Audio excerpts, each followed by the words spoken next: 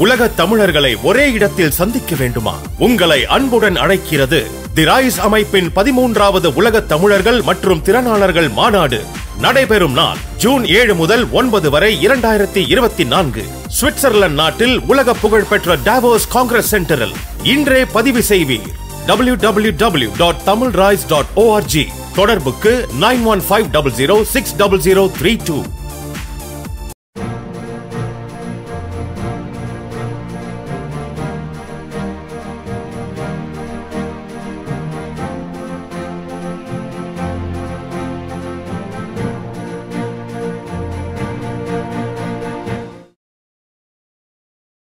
அமெரிக்காவை அடுத்து சிவாஜிக்கு மிகப்பெரிய மரியாதையை தந்த நாடு பிரான்ஸ். பிரான்ஸ் நாடு சிவாஜிக்கு வழங்கிய செவாலிய விருது மதிப்பில் மிக உயர்ந்தது. அதாவது நமது இந்திய நாட்டின் பாரத் ரத்னாக்கு இணையாக மதிப்பு கொண்ட விருது. இந்த விருதை இதுவரை உலகில் நான்கு நடிகர்களுக்கு மட்டுமே பிரான்ஸ் நாடு வழங்கியுள்ளது. சிவாஜி நடித்த வீரபாண்டிய கட்டபொம்மன் திரைப்படம் கெய்ரோவில் நடந்த ஆசிய ஆப்பிரிக்கா படவிழாவில் கலந்து கொண்டது. அந்த படவிழாவில் சிவாஜி ஆசிய ஆப்பிரிக்கா அளவில் சிறந்த நடிகராக தேர்ந்தெடுக்கப்பட்டார். ஆசிய ஆப்பிரிக்கா அமெரிக்கா கண்டங்கள் என எடுத்துக்கொள்ளும் போது உலக மக்கள் தொகையில் முக்கால் பகுதி மக்கள் தொகை இந்த இரு கண்டங்களிலேயே அடங்கும். இந்தியாவும் சீனாவும் மட்டுமே பெரும் மக்கள் தொகையை கொண்ட நாடுகள். ஜப்பான் ரஷ்யா ஹாங்காங் போன்ற ஏராளமான நாடுகளுடன் ஆப்பிரிக்கா கண்டம் முழுவதும் உள்ள ஏராளமான நாடுகளும் இந்த படவிழாவில் பங்கு பெற்றவையாகும். இவ்வளவு பெரிய படவிழாவில் சிவாஜியை சிறந்த நடிகராக தேர்ந்தெடுத்த பின்னும் இந்திய அரசு வழங்கும் சிறந்த நடிகர் விருதை சிவாஜிக்கு தராமலேயே இருந்துவிட்டார்கள். காரணம் இந்திய அரசு சார்பான இந்த விருதில் அவ்வப்போது செல்வாக்கான மனிதர்களின் குறுக்கீடு இருந்து வந்தது. ஆசிய ஆப்பிரிக்க அளவில் சிறந்த நடிகர் விருது பெற்ற ஒருவருக்கு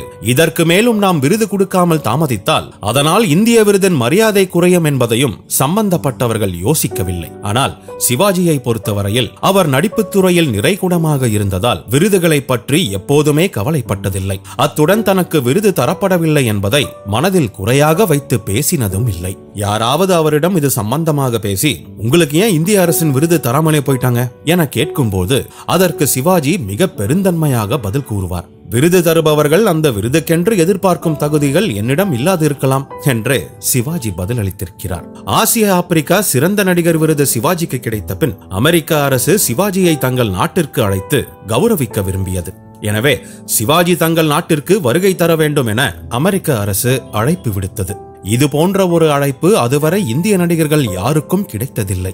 அமெரிக்காவில் அவருக்கு என்னென்ன நிகழ்ச்சிகள் இருக்கும் அங்கே முக்கியமானவர்கள் யார் யாரை சந்திக்க வேண்டியதாகும் என்பதையெல்லாம் முன்கூட்டியே அவர் தெரிந்து கொண்டதால் அதற்கேற்ப தயாராக அமெரிக்கா புறப்பட்டார். அமெரிக்காவில் சந்திக்கும் முக்கிய மனிதர்களுக்கு நமது நாட்டு சார்பாக கொடுக்க வேண்டிய பரிசு பொருட்கள் எல்லாம் எடுத்துச் சென்றதுடன் அங்கே குறிப்பிட்ட நிகழ்ச்சிகளில் திரையிட்டு காட்டுவதற்காக தான் நடித்த பல படங்களில் இருந்து முக்கிய காட்சிகளின் தொகுப்புகளையும் கையில் எடுத்துச் சென்றார். ஆனால் இதற்கு கூட யாரும் குறுக்கீடாக இருந்தார்களோ என்னவோ. சிவாஜி அமெரிக்கா போய் இறங்கியதும் அங்கே திரையிட கையில் தன்னுடன் எடுத்து வந்த அந்த படப்பெட்டி மட்டும் காணாமல் போய்விட்டது. அந்த சமயத்தில் வீடியோ கேசட்டில் பதிவு செய்து எடுத்துச் செல்லும் வசதி வரவில்லை. அப்படி இருந்திருந்தால் மூன்று நான்கு கேசட்டுகளை தன் கைப்பெட்டியிலேயே எடுத்துச் சென்றிருப்பார். சிவாஜி திட்டமிட்டபடி முக்கிய பிரமுகர்களுக்கு தான் நடித்த படத்தில் உள்ள அந்த குறிப்பிட்ட காட்சிகளை திரையிட்டு காட்டியிருந்தால் அவருக்கு மேலும் வரவேற்பு கிடைத்திருக்கும். அமெரிக்கா போன்ற மேலை நாட்டினர் ஒருவருடைய திறமையை கண்டறியும் போது அதை இருட்டடிப்பு செய்ய வேண்டும் என எண்ண மாட்டார்கள். திறமையை மனதார பாராட்டுவதை தங்களுக்கு பெருமை என எண்ணுபவர்கள்.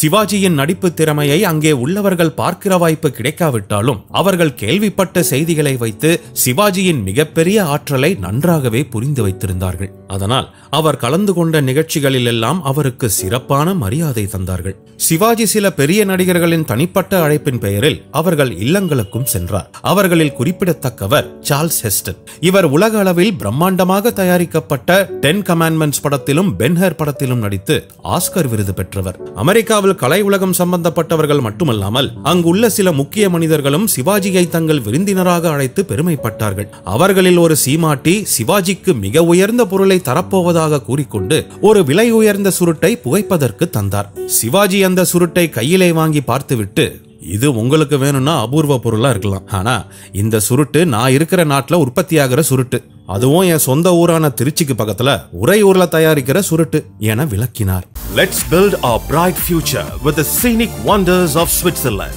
The RISE 13th Global Tamil Entrepreneurs and Professionals Summit from 7th to 9th June 2024 in Davos. Let's join with the global Tamils at the renowned Davos Congress Center.